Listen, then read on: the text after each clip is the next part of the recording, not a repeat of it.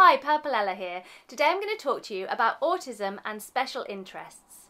So I'm going to talk to you about what special interests are, what my personal special interests are, and how I feel that special interests can benefit autistic people. So a lot of people can relate to having a hobby. A lot of people have a hobby which is an activity or an interest that they participate in in their leisure time. For autistic people, those hobbies can be called special interests when they are very intense, something that the autistic person feels that they need to participate in for their general well-being, that they become very focused upon and that they gain like a great deal of knowledge or if you like an expertise in because they become so focused on these particular interests. So what are my special interests? So prior to getting my autism diagnosis, I didn't really realise that I had special interests, but when I look back over my life, I definitely have participated in special interests. So when I was a child, my special interest was 100% performing, dancing, acting, and all the different ways of being on stage. And I know that some of you will say, oh, yeah, yeah, but lots of children do dancing and lots of children do acting. What I mean is that I spent five evenings a week and all of Saturday and all of Sunday participating in this special interest. I attended lots of dance classes, I was in an amateur dramatics group, I was also in a drama group, I did as many performances as I could, I was always in school plays. All I thought about was performing, how to get better at performing and in between that, I was really just thinking about when I would be a performer, when I would get next to get to perform. I was researching. I ended up doing a drama um, or theatre studies A level. I ended up doing a contemporary dance degree at university. It was really very consuming and it was all that I was interested in to that kind of extent. Of course, I had other smaller interests, but this was a special interest which I became expert in and very obsessed in.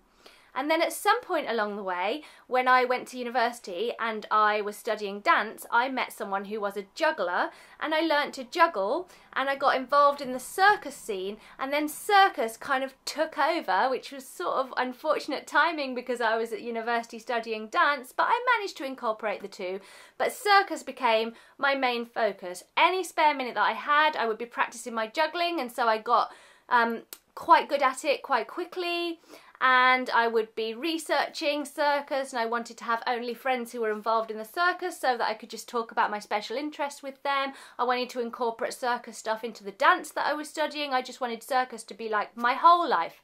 So then I came to Bristol where I live now and I actually did a full-time circus training course and I worked as a circus artist for about seven or eight seven or eight years I would say um, and then I kind of was really struggling generally. I was having children. I guess at some point being a mum became a special interest because where other mums would want to talk about other things or would want to like have something outside of their life other than their children. I didn't really understand that because all I wanted to do was be the like perfect mum that I could and did loads of research and read loads of parenting books and loads of parenting theories and it was just my obsession was with being like the best mom that I could be and how to do that and that was sort of my special interest for about I guess about 4 years. And then I was diagnosed as being on the autistic spectrum and I became aware of special interest and I was able to see the pattern that I had had throughout my life of getting into something but then just getting really into it. So where someone would get into something and enjoy it i would get into it and then that that would i would want that to be my life. I would want to be like either have it as my job or have it as like consuming my whole life and have everything that i do be about this thing. And then i would move on to something new. And that would become the main thing and that would become my focus.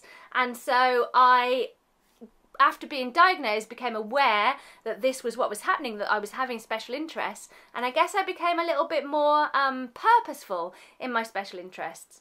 Uh, so that was when I discovered Lego.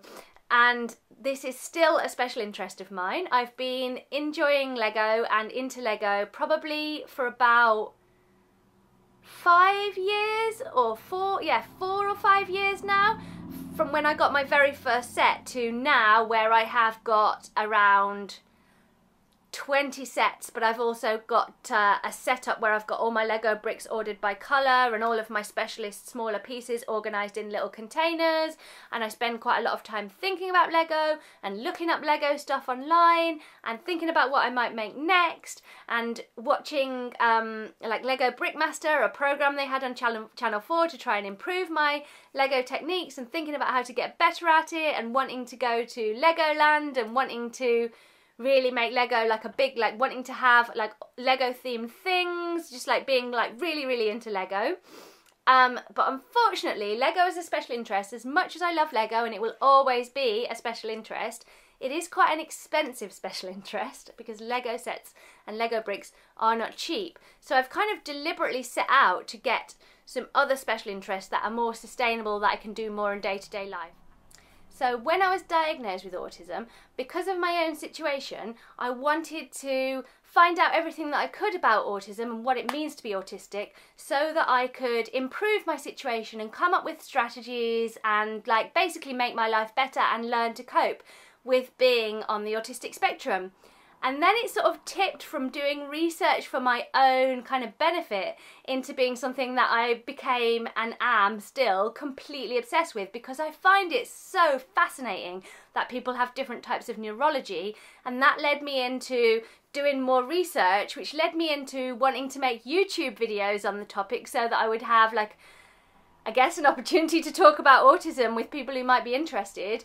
And that led me into doing public speaking, which has led me into doing um, work with individual autistic children and individual autistic adults, which has led me into having like autistic friends, um, which means that basically I have a lot more opportunities to talk about autism as much as I want to. And for those of you who know an autistic person or are autistic, you will know that there is nothing more joyful than being able to sit and talk about your special interest with someone who actually wants to know about it. So I guess this has given me like an outlet for my kind of obsession with autism. But basically, I probably spend about two hours every day researching, reading about, working in, thinking about, talking about autism. And I'm probably being conservative with that estimate so you don't think that I'm a complete weirdo. So, autism is another one of my special interests. And then I also have developed a special interest in dogs. So as you guys know who've been watching me regularly, I have a dog who I got about 18 months ago as a puppy and who I love very, very much.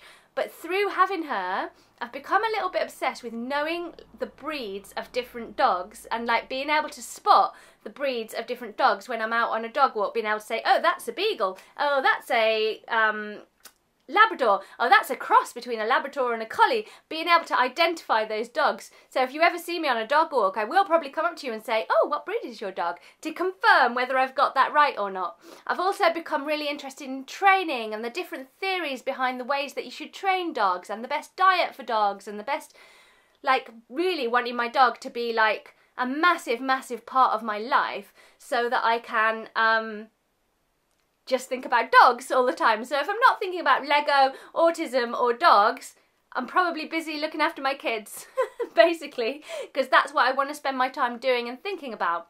And then finally, recently, I've actually acquired a new special interest, which is really wonderful because uh, it's something that's a little bit more insular, I guess, than the, my other special interests. I mean, Lego is quite insular, but as I said, aforementioned issue with kind of costs around that.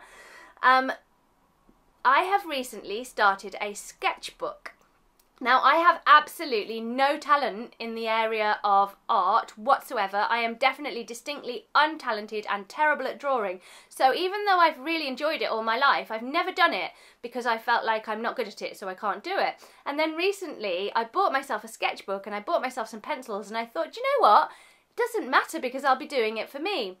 So now where most people would be like, yeah, sketching, that's fun, I'll do that occasionally. I have, since I got my sketchbook, which was about a month ago now, been drawing every single day for at least an hour, possibly two hours a day. If I've got some spare time and I'm not with my dog and I'm not working in the area of autism, I will generally now be found drawing. I absolutely love it. I don't, again, I'm, I'm maybe I'm getting slightly better at it because I'm doing so much of it, of it, but the goal is not to be brilliant.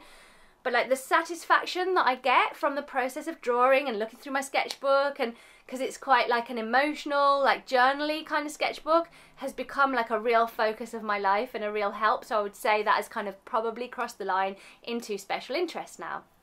So those are my special interests. Now I want to talk to you. Now, Special interests have historically had a bit of a bad rap, really. Like, oh, they're obsessive. Oh, they stop autistic people from doing stuff or like doing this kind of socializing that we think autistic people should be doing. And they're not, it's like stopping them from being as neurotypical as we would like them to be. And it's, you know, like this whole, like, oh, anything that we do that is outside of the norm being like, oh yeah, but that's weird and that's different and that doesn't make you look normal, so we should stop with these obsessions and we should stop with that. But actually, I think special interests can be a really beneficial thing for autistic people. These are the ways that I think they can benefit autistic people. First of all, they can turn into a potential career. So obviously my special interest in autism has led to me having a career as an autism advocate, speaker and trainer. Something that I never in a million years would have thought I would end up doing, but something which I passionately love. It's a career. I get to go to work and do something which I really, really love and which I get respect for, I guess, and which I get positive feedback for. So that special interest has actually turned into something that is now a career for me, and that can happen for many autistic people who develop a special interest. They're also very relaxing. I find that when I've spent some time participating in my special interest, my sensory issues can be reduced, my overload can be reduced, my anxiety can be reduced. It just generally makes me feel good in a similar way to the way that stimming makes me feel good. So they can reduce overload and they can reduce overwhelm. Additionally, they can raise self-esteem. Now, if you've watched many of my videos, you'll know that I'm always banging on about raising autistic people's self-esteem because we naturally tend towards lower self-esteem. Now, if someone has a special interest and they become good at it and people notice that they're good at it or they achieve things because they're good at it or even just the knowledge that they are good at it can help raise that self-esteem because it's I'm not useless. I'm actually someone who is really knowledgeable about autism or I'm actually someone who is really knowledgeable about coding or video gaming or swimming or whatever it is. Feeling good at something inevitably leads to raised self-esteem. They can be used to motivate. Now, this is a very dangerous area because some people see this as, oh, well, I'll say you have to do this thing before you can do your special interest. And I really don't agree with that because that's like saying this thing that's really important to you and that you love, I'm going to take away from you if you don't comply with the way that I would like you to behave, which I'm just not really on board for. However, for me personally, I know that today, for example, I've set myself up with I have to do some filming and I have to do some paperwork and I have to do some childcare stuff. And then when I've done all those things, I can sit down and do some sketching. So I'm like using it to motivate myself personally. Obviously, if I didn't do those things, I would probably still allow myself to sit and sketch. But the idea that I've got that to motivate me is really helpful.